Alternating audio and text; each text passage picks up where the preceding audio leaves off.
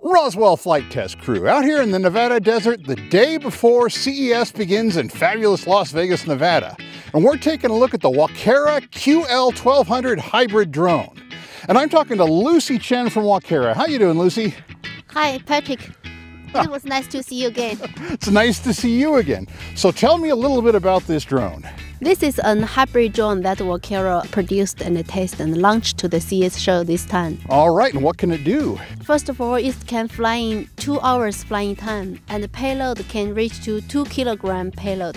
So it can do a rescue drone and also an inspection drone.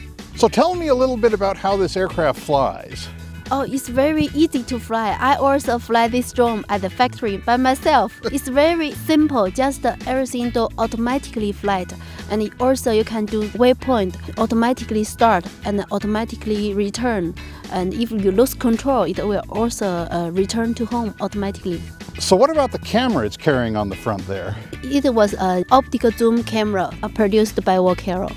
So Lucy, your colleague Mr. Shaw was telling me that because it's a gasoline engine, there is periodic maintenance required. So like after five hours of flying, you need to check the air filter, make sure all the screws are tight. And then after 50 hours of flying, you check the spark plug, replace the air filter. After 200 hours of flying, that's when you're taking it apart, checking, making sure everything's inside. Yes, it is. And also the engine is imported from Japan and quality is very good. One thing to be aware of is that this is makes more noise than a battery powered drone. When you get started, below 5 meters, noise is something like 80 dB.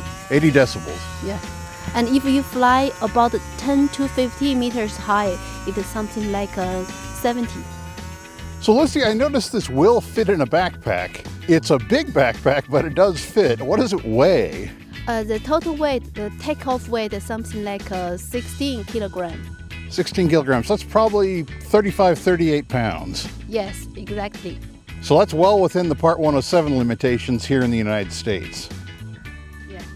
And also, it's very easy to carry for the people to go out for working. What does one of these drones cost?